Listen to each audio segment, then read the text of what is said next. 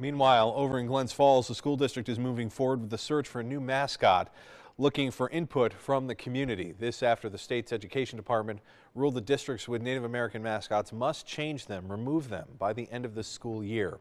Right now, the district is having families and teachers fill out a form asking what qualities or values should Glens Falls Nation be known for.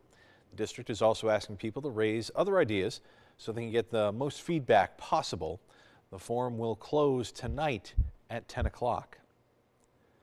Well, taking a look at the timeline for the district to have that new mascot in place, the superintendent's student cabinet will meet both tomorrow and next month to discuss the ideas from the community.